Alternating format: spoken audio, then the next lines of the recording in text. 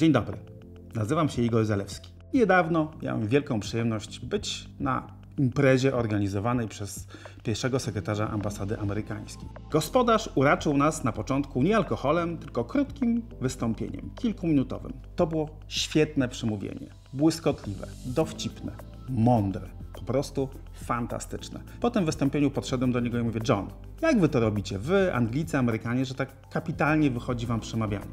To bardzo proste. My się tego po prostu uczymy w szkołach.